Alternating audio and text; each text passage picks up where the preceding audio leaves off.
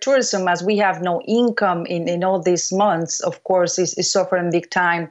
And there are a lot of families around the world, millions of families impacted, waiting for this to restart. It just completely stopped. Um, just nobody is flying, nobody's staying, um, there's no tourism. So it's just a, a complete stop for us. Everyone who you know was thinking of traveling before, when the lockdown happened, they just stopped thinking about what's going to happen with their holidays and when are they going to travel again.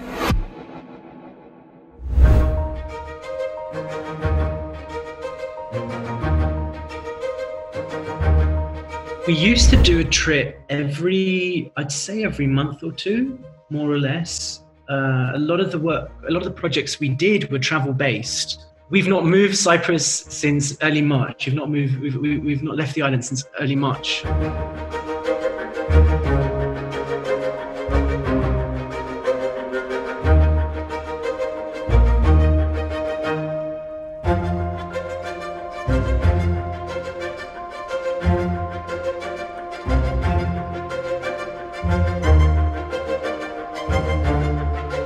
We're all desperate to get back to work. We need to open, we need to get people back into hotels and reassure everybody that, you know, everything has been put in place for everybody's safety and the precautions have been taken. We need to make a point about helping travel agencies, helping hotels, restaurants, and um, airlines, airports, all these uh, different um, components and, and, and industries and organizations part of the ecosystem, uh, which is relevant and provides a lot of jobs around the world. One out of 10 depend of uh, travel and tourism currently.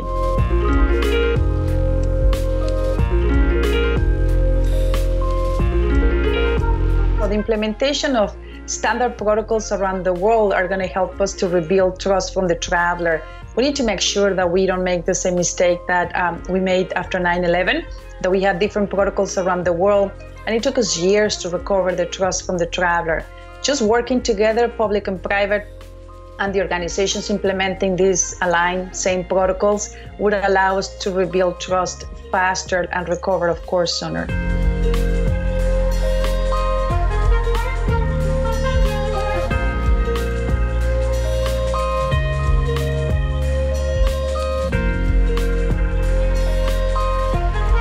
There's a lot of training. Obviously, we have had to change our standards of performance on how we interact with our guests now. Um, changed a lot of procedures on um, sanitising areas, um, bedrooms, obviously.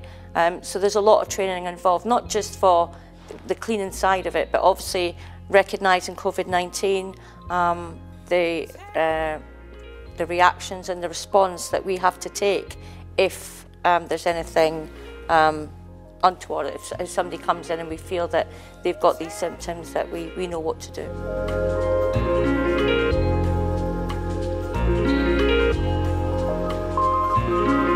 I think in terms of staycations and um, domestic travel, it's all about where you go. I mean, I wouldn't recommend going to crowded places. So forget yes, maybe true. about the beach, the popular beaches, and you know um, summer resort places and think um, of more the countryside, places that are not crowded. Do a road trip. I mean, road trips are can be so exciting.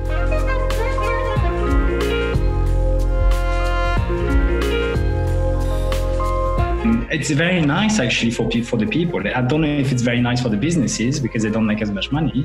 But when you go to a restaurant and you go to the beach, you, you feel like you're a VIP person. There's no one else around you. You have the, the two, three meters, and everyone is scattered around like that. So it, it feels very secluded and private. So in that way, it's quite cool.